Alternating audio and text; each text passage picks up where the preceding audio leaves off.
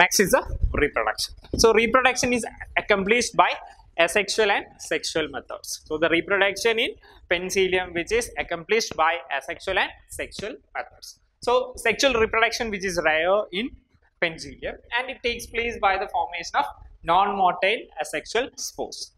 And here the reproduction, asexual reproduction which is rare, sorry, the sexual reproduction which is rare in penicillium and the asexual reproduction is by the formation of non-motile asexual spores, the conidia, which are brown in chains and erect branches of the mycelia called conidiophores.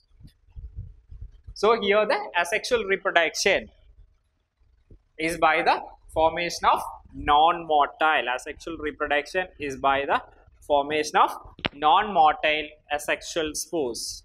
Non-motile asexual spores, the conidia. So the asexual spores is called the conidia.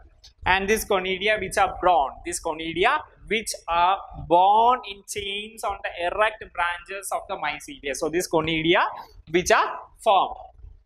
These conidia which are formed on the erect branches of mycelia. Conidia which are formed on the erect branch of mycelia. And that what we called as the conidio conidiophore.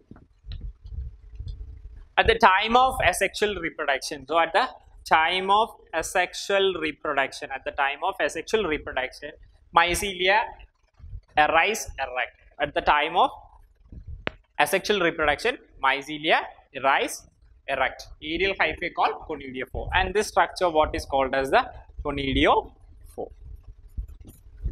The conidiophore in penicillium lack a distinct foot cell. So, the conidia conidiophore in penicillium, conidiophore in penicillium which lacks foot cell, which lacks foot cell. So, here the absence of foot cell. So, this is the foot cell. We have discussed what foot cell in the previous class. So, this foot cell which is absent in penicillium. So, in penicillium the foot cell which is absent and here the mycelia which rise erect vertically to a more or less definite height. In some species, the conidiophores are unbranched. In some species, these conidiophores are unbranched. In most species, they branch repeatedly towards the free end. In most of the cases, these conidiophores are branched. Okay. At the end of the unbranched conidiophore, clusters of uh, finger-shaped sterigmata are developed. So, here the figure you can see the figure of conidia conidiophore over there. And you can see that at the end of the unbranched conidia conidiophores clusters of finger shaped structure what we called as the sterigmata and this sterigmata which by abstriction produce rows of conidia. So here you can see that this is the sterigmata so this is the conidia conidiophore and here the conidia conidiophore which is branched here the conidiophore which is branched and the finger shaped clusters what we called as the finger shaped clusters what we called as the sterigmata. so here the sterigmata which are arises sterigmata which are arises so these are the finger like structures called as the sterigmata. so this finger like structures called as the sterigmata this finger like structure called as the sterigmata and this sterigmata which produces rows of conidia and on the sterigmata you can see that a rows of conidia is over there. Rows of conidia in the species with branched conidiophore the tip of each conidiophore is terminated by a wall of branches known as the metulae so in the branched in the branched conidiophore. So this is a branched conidiophore and this structure what we called as the metula. So in the species with branched conidiophore, the species which having branched conidiophore, the tip of each conidiophore is terminated by a wall of branches. So here you can see that a wall of branches over there and this wall of branches is called as the metula. On the figure you can see that and each metula finally terminates into a tuft of uninucleate bottle shaped branches which are called sterigmata of fillets and each metula later developed as sterigmata and this sterigmata is otherwise called as phyllites. Okay.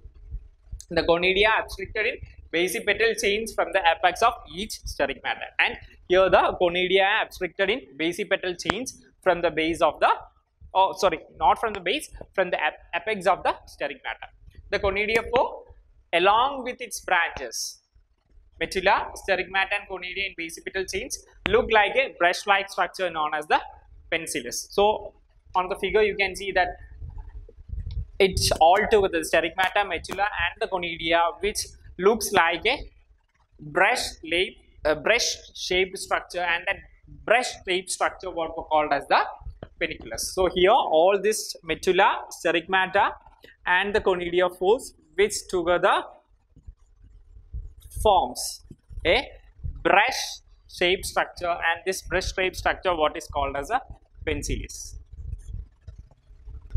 In certain species, the conidiophore became aggregated in fascicles or compacted to form structures called coremia. So, in certain species, the conidiophore may become aggregated in fascicles. So, in certain species, conidiophore, in certain species, conidiophore aggregated, in certain species, conidiophore aggregated and compacted to form structures called coremia. In certain species, the conidiophore compacted and form the structure called coremia. From the tip of each sterigmata, conidia abstricted in chain. And on that, from the tip of each sterigmata, conidia chain. Each sterigmata is a flask-shaped cylindrical body. So, here the sterigmata which is flask-shaped cylindrical body. The sterigmata which is flat-shaped cylindrical flask-shaped cylindrical body which after a certain length narrows into a spore producing tube. So this is a this sterigmata which is a flask shaped cylindrical body and some, uh, after reaches some height it is narrows into a spore producing tube. The nucleus in the sterigma divides and one nucleus migrates into the narrow apex of the sterigma. So, the nucleus in the sterigma divides. So, the nucleus in the sterigma nucleus in sterigma nucleus in sterigma divides and one nucleus migrated into nucleus in sterigma divides and one nucleus migrated into the narrow apex of sterigma so nucleus in sterigma divides and one nuclei one nuclei migrate to the narrow apex migrate to the narrow apex of the sterigma migrates to the narrow apex of sterigma. The terminal portion of the sterigma is then separated by a septum from the parental cell as a short uninucleate cell, the conidium. And the terminal portion of the sterigma is then separated by a septum. So, this is a sterigmata. This terminal portion which is separated by a septum from the parental cell as a short uninucleate cell, the conidium. When it is fully grown, it is separated by a septum from the parental cell and they assume the size and shape characteristic of the species. So, when the fully grown, when it is fully grown, it is separated by a septum. So, when it is fully grown, it is separated by a septum. It is separated from a septum from the parental cell. So, when it is fully grown, it is separated by a septum and detached from the parental cell and after that they assumes a certain shape and size. After it is separated, another conidium is formed so that a chain of conidia is formed at the end of the sterigma in basipetal succession. That is the oldest conidia lying at the end of the chain. So, after it is separated, another conidia is formed. So after it is separated, another conidia is formed. So that a chain of conidia which can be formed at the end of each sterigma in basipetal succession. So after detaching one conidia, another is formed. So it forms a basipetal succession. That is the oldest conidia lying at the end of the chain. That means oldest conidia which is lying at the end of the chain.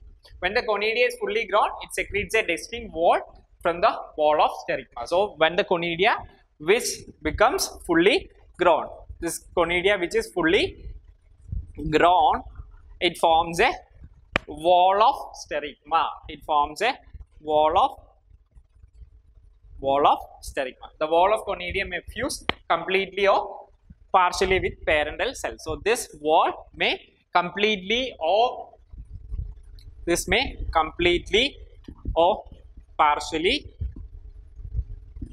fuse with parent cell.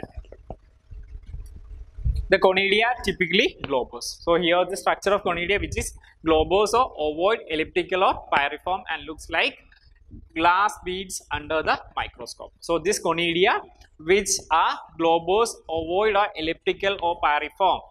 The conidia thus formed are typically globose. Typically globose, ovoid, elliptical, elliptical or pyriform and look like glass beads under the microscope. The wall of conidia may be smooth or variably roughened and the wall of conidia, walls of conidia which may be smooth. Sometimes it may be smooth and variously roughened. And variously roughened. The conidia generally uninucleate but become multinucleate in many species. So it is uninucleate and in many species it is multinucleate.